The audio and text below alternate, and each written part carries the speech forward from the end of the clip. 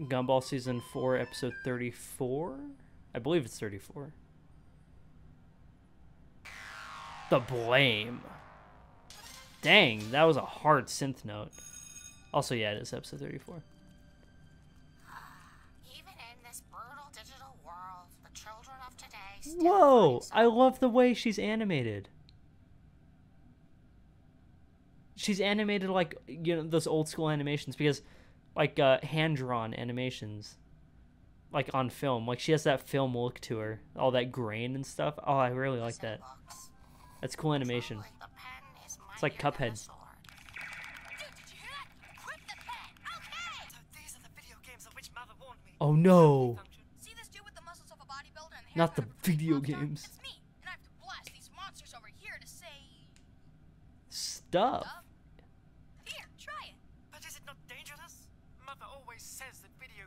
make one lose contact with reality, that they encourage loose behavior and violent tendencies. I hate any time that's brought up. It kills me inside. I think the worst offender of this. In fact, I made a video on this on my other channel a decent while back. I don't remember when it was. It was sometime last year, like September maybe. I made a video. Or no, there, there's a news clip, right? Because we know the news loves to bash on video games. Even today, they still do it. Although today, I will admit, it is a lot more. They are a lot more lenient on video games because they've grown exponentially in popularity in recent years, as opposed to like 10, 15 years ago. But but I saw uh interview. I I don't even remember what news station it was on. Uh, it was probably Fox News or something. Let's be real here. Um, and it was discussing Mass Effect, and like Geoff Keighley showed up to try and defend it, and it was the most irritating thing I could have ever seen. I I don't really know what to tell you to look at, but if you can find that video, it it uh, it I just video games don't cause violence.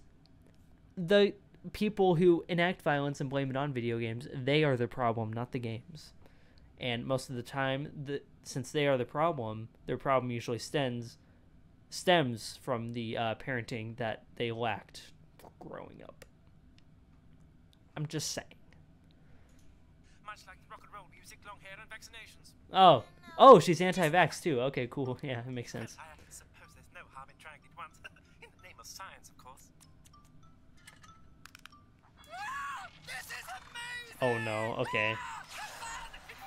Also, there are some kids who are actually mentally like unstable in a way that like you wouldn't want to give them violent video games because they actually would act it out. There are situations like that that could actually happen.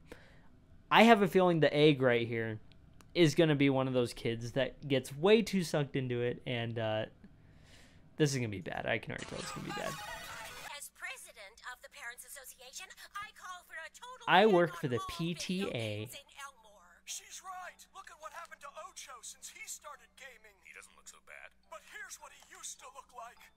Agreement.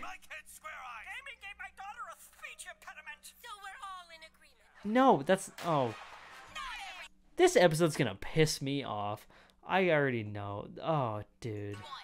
We are Mr. Dad and Mrs. Mom. He means Richard and Nicole Watterson. And we've found video games to be nothing but a He actually kind of sounds like Nicole right here. Like Gumball, he is actually putting on that Nicole uh, voice a little bit. I give you three chances to prove your argument that video games can be a force for good. They can. Adjourn. It's a gavel. He wouldn't let me use can. Oh, okay. So you have like three People often say lives. Okay. games are antisocial and make you unhealthy. Well, just take a look at this family sharing some sporty fun together. It's it's a Wii. about that family?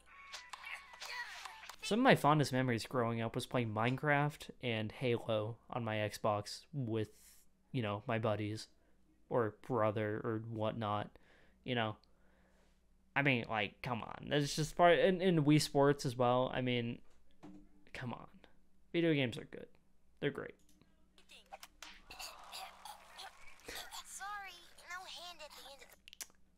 Well, that's why you wear the wrist strap. You know, remember when Nintendo got sued for the weak wrist strap they had on the Wii remotes for a lot of money, and so ever since then on their Switch and on their Wii. They have uh, really, really put all the warnings they can, telling you to put on the wrist strap so they can't be sued again. Good times. I, I would recommend looking up that lawsuit if you're interested. Hey, this is the body of a world-class gamer. You're lucky we're not No. right.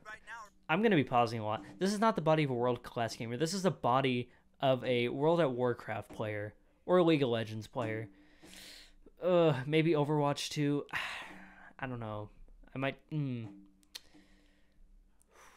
What would I stretch it into? Valorant, maybe? Average Discord mod. Or I'd be saying things I'd never say to your face. Nothing like. Yeah, it's nothing like saying slurs to your friends on Xbox Live Party Chat. Now, now, mother, it's only a game. Dang.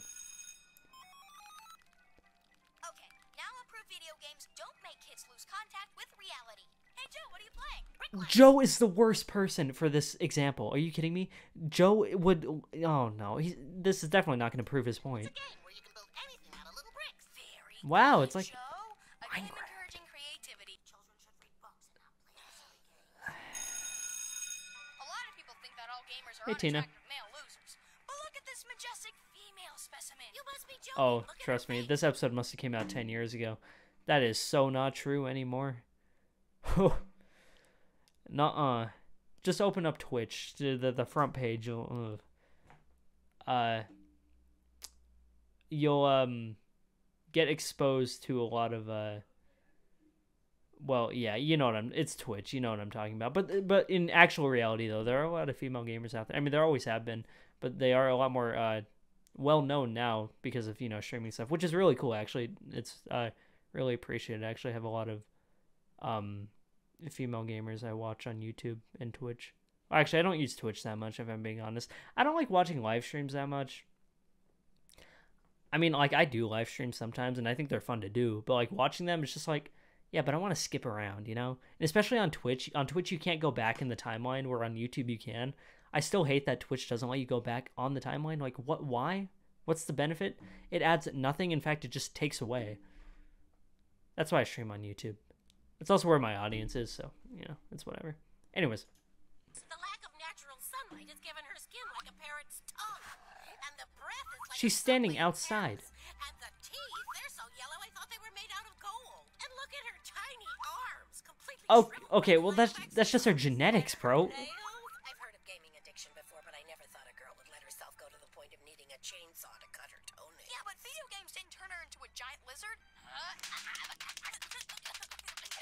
No case to begin with. Ha! Good Metal Gear reference. I, that was really funny. Steak, steak, steak. Oh, what a, That wasn't a video game. yeah, that's like that that that's oh boy. Did you hear that? It's the sound of someone feeling an emotion other than boredom. That's a good point. That's a good point. It might be interesting. Oh, did Banana Joe actually get into the book? You okay? Oh, it's this darn book. It's making my hair stand on end. What hair? Hmm? Okay, what That's- is it? Grimm's Fairy Tales. Everyone, start reading! Yeah, it's really hypocritical when you think about it. Because they're gonna be like, oh man, they're they're so involved in books that they just can't. But they're gonna be like, oh no, books, it's fine, because they're books. That's the only reason why. It's like, it's almost like the situation where they're like, video games cause violence, but violent movies, oh, you you can watch R-rated movies all the time. That's fine. Who cares about violence in movies? But violence in video games, that's when it's bad. It's like, shut up. Oh, you have to check them out, of course. Yeah. Oh yeah. What else do you want to ban? Do you enjoy life? Does she even enjoy living? Like what the what what what is her purpose?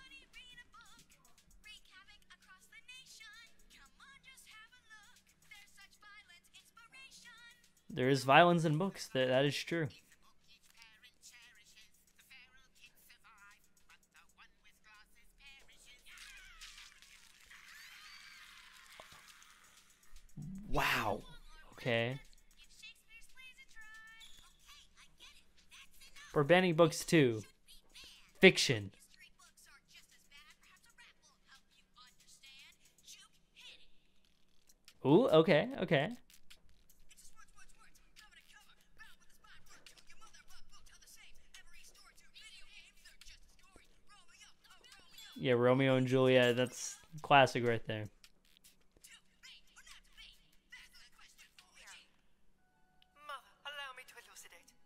We've raised myriad issues here today censorship, parenting, making gross noises with one's armpit. But the nub of the argument is thus video games are shouldering the burden of a deeper problem. It is not the material that's to blame, but how parents teach their children to respond to it. My gosh, Billy, you're right. Yes. That's what I don't understand how people can't get that through their heads. She's gonna ban all of it. Become better parents and look after our children in a sensible way. Yeah, yeah, you should. Burn the books. Wow. I wonder what that reminds me of. I wonder what historical event about a hundred years that reminds me of. Anyways, I'm not gonna go there. Um, this was good. I, I this episode kind of pissed me off, but not in the bad way, just in the the meta way. Because this was a great episode. Actually, this was a very very good episode, but it just irks me the whole video game debate. It's so stupid. It like it, it was annoying. It's annoying going back and watching like news reports and stuff like 10, 15 years ago, even 20 years ago at this point. I mean, god, it's, tw- it's 2024. That's crazy to me. Like I'm 20 now. That's that's wild. Anyways, whatever.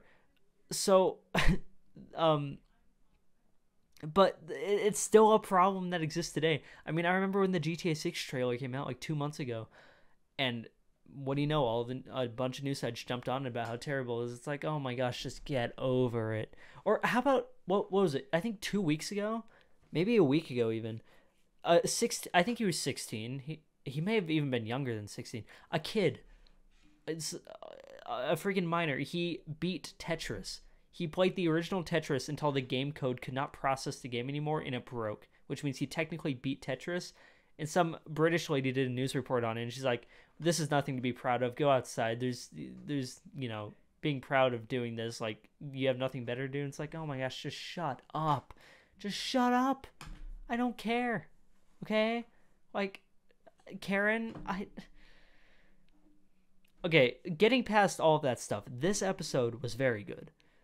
I really liked it. And it brought a very good message I agree with at the end. Parent your freaking kid. If you think your kids are going to reenact violent video games in real life, how about you just make sure they don't? I don't know. It was just crazy thought. I, I mean, frick, I, I grew up playing Halo and even, you know, later on GTA and stuff. Like, I, I'm fine. I don't know. I, I think I'm good. Like, you know, I'm, I'm doing YouTube. I, I go to college. Like, I haven't killed anyone. I, I think I have a, you know, I think I'm doing pretty well for myself right now. In that regard, uh, mentally, anyways. Uh, but yeah, this this was uh, very entertaining, and uh, also the music bits hit really hard, especially the uh, history rap that they were doing. I don't know. This was just a great episode. I I loved this so much, and it spoke a lot to me off the uh, you know what they were talking about throughout the episode. But besides that, the episode itself was also just very entertaining and chaotic, like it usually is. But there is nothing wrong with that, and I love it for that. Okay, anyways, uh, bye.